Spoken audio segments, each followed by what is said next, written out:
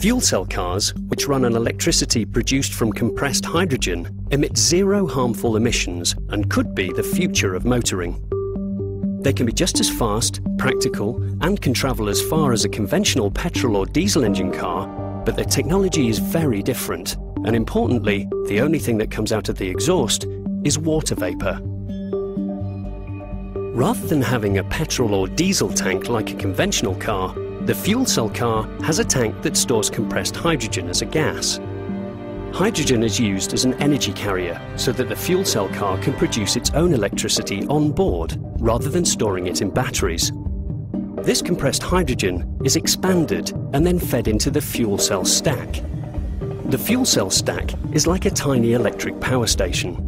Inside it, the hydrogen combines with oxygen from the air to generate electricity and water as a byproduct. Water vapour is the fuel cell car's only emission. The electricity created inside the fuel cell stack is used to power the electric motor, which is in turn used to drive the car. The fuel cell stack is made up of hundreds of individual cells stacked together like a loaf of bread. In fact, each cell is like a sandwich with a membrane electrode assembly, or MEA, between two separators, or bipolar plates.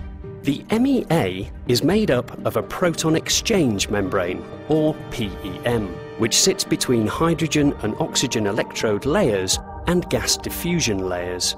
In each cell, hydrogen gas passes over the hydrogen electrode. Each hydrogen atom is converted into a hydrogen ion in a catalytic reaction, releasing an electron in the process. The hydrogen ions then pass through the electrolytic membrane, where they bond with oxygen ions straight from the atmosphere.